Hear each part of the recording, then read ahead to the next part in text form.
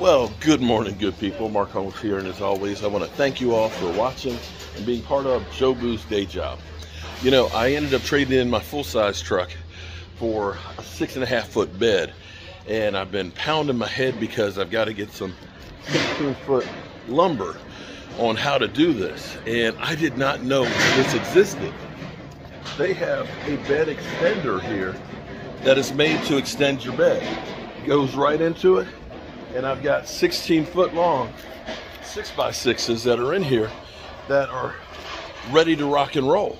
And look, that's that's secure. Now what I did do, I put some extra weight in the back.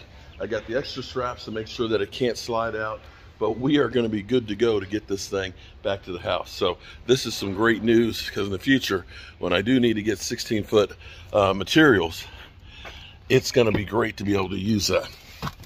So let's see how well it rock and rolls to the job site. Well, I'm happy to report it worked great.